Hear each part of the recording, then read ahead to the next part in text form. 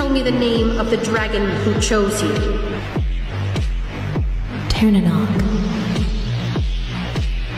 And Andarna Yoram.